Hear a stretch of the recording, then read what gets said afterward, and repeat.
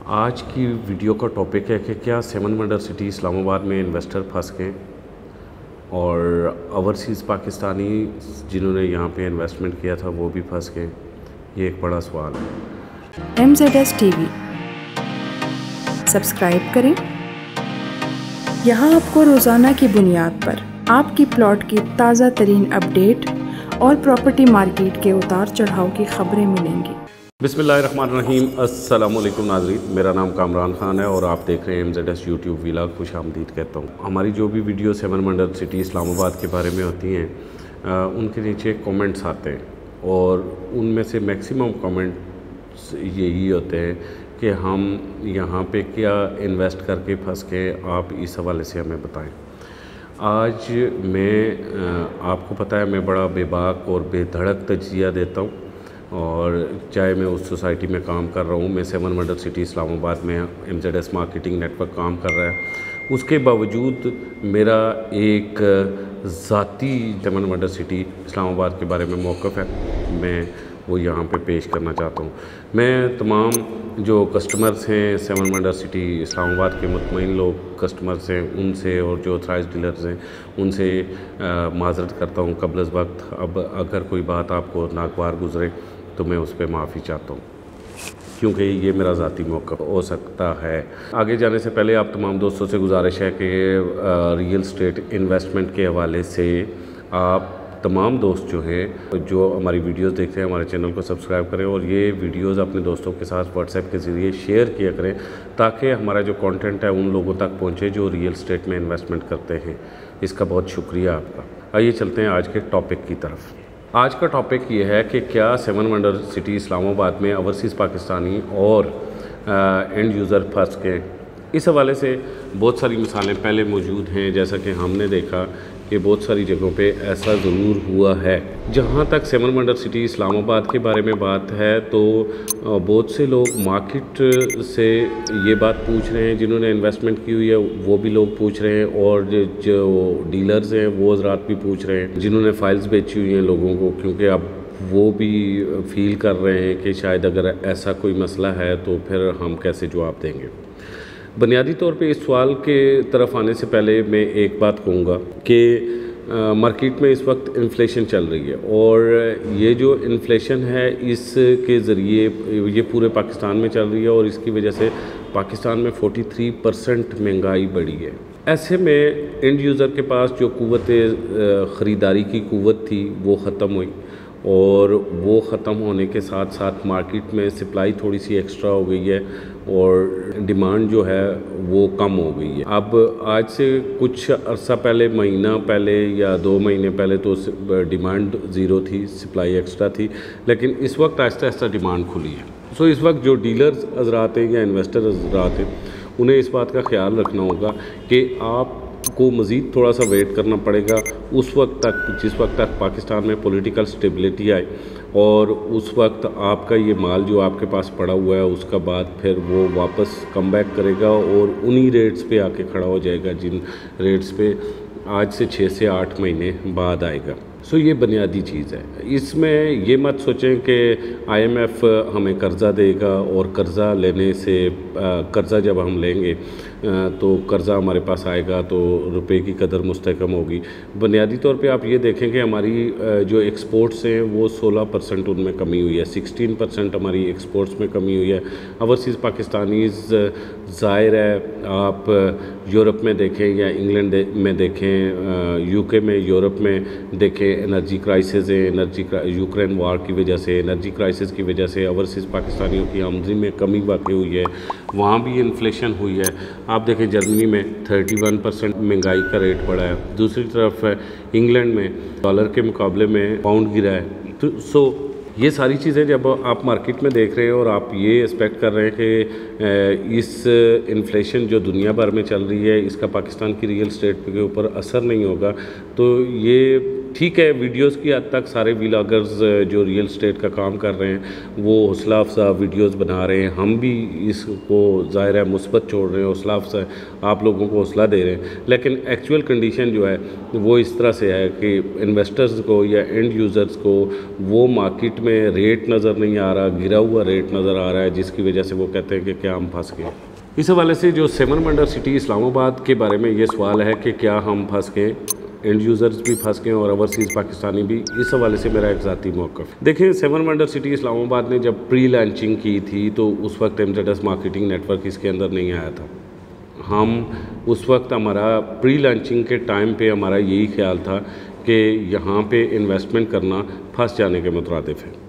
लेकिन pre launching से जब आगे बढ़े, हमने देखा कि सेवन वंडर सिटी इस्लामाबाद की फ़ाइल्स जो हैं, वो मार्केट में ईज़िली अवेलेबल है हर एक डीलर्स के पास और बड़े पैमाने पे पड़ी हुई हैं और मार्केट में सप्लाई एक्स्ट्रा हो रही है तो हम एहतियातन एकदम से साइड पे हो गए थे। थोड़ा सा अरसा गुजरा छः माह के अंदर अंदर हमने देखा कि सेवन वंडर सिटी पैंतीस सौ कनाल का एक सोसाइटी जिसके पास एनओसी था, उसे ख़रीद लिया। अब क्या सेवन वंडर सिटी ने ये दुरुस्त किया या गलत किया?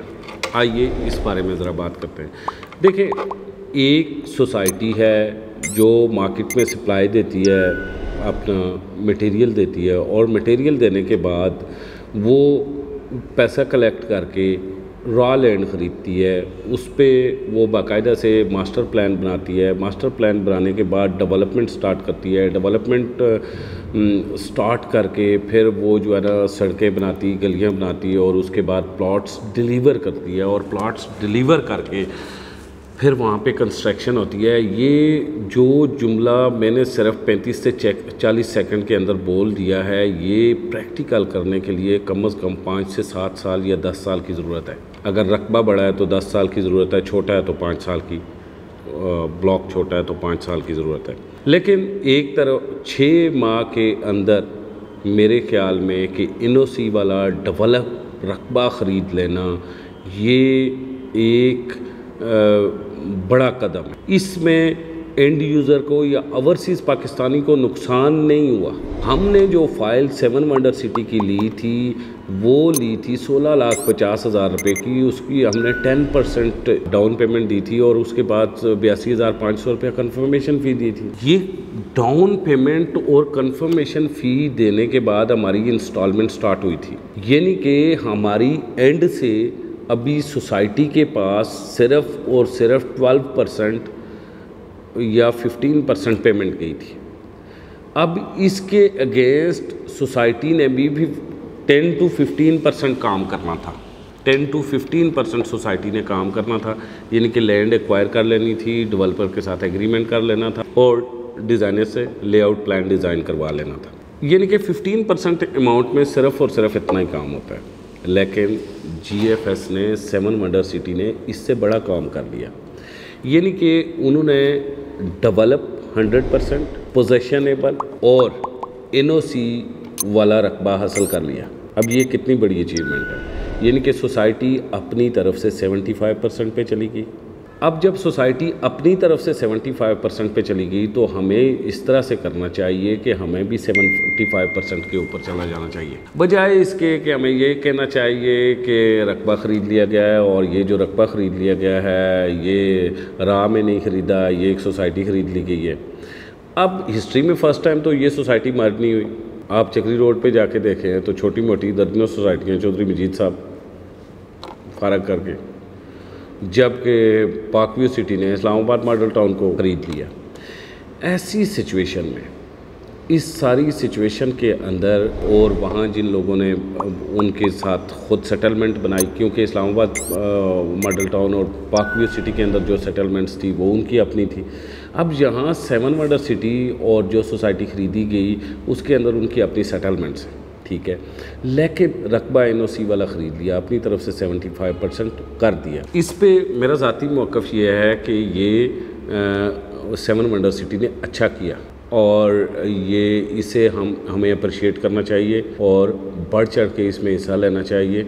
और ये पैंतीस सौ कनाल का अगर टाउन में कहीं एनओसी मिलता है तो मुझे आ, मेरे ख्याल में वो एक बड़ा डेवलपर आ रहा है इस्लामाबाद में जिसने पैंतीस सौ कनाल का एन बाय कर लिया और आगे ज़मीनें ख़रीद के उसे एक्सटेंड करवा रहा है। तो इस पे हमें फौरी तौर पे हमें कभी भी लेट नहीं करना चाहिए हमें इसके ऊपर मज़ीद इन्वेस्टमेंट करनी चाहिए। आप तमाम दोस्तों से गुजारिश है कि सेवन वंडर सिटी इस्लामाबाद में आप इन्वेस्टमेंट करें ना ओवरसीज़ पाकिस्तानी फंसें। ना ही सेवन वंडर सिटी इस्लामाबाद के अंदर इन्वेस्टर फंसा है, ना ही सेवन वंडर सिटी इस्लामाबाद के अंदर एंड यूज़र फंसा है। ओवरसीज़ पाकिस्तानी भी फ़ायदे में हैं सेवन वंडर सिटी के अंदर एंड यूज़र भी फ़ायदे में है सेवन वंडर सिटी इस्लामाबाद के अंदर इन्वेस्टर भी फ़ायदे में है। लेकिन नुकसान में वो लोग हैं जो मार्केट में अफवाहें उड़ा रहे हैं। ये जो मार्केट में अफवाहें उड़ाने वाले लोग होते हैं, ये भी एक पूरा का पूरा माफिया है। ये ये चाहते हैं कि 10 परसेंट की हम फ़ाइल बुक करें और सोसाइटी 100 परसेंट काम बुक कर दे कर दे और उसके बाद हम एक लाख पैंसठ हज़ार रुपया जो हमने भरा हुआ है, उस पर हमारी फ़ाइल 25 लाख रुपए की बिक जाए और हमें उस एक लाख पैंसठ हज़ार रुपये के ऊपर तकरीबन तेईस लाख और पैंतीस हज़ार रुपया प्रॉफिट मिल जाए। अब ये तो शेख चिली वाला ख्वाब है, जो पूरा होने से रहा।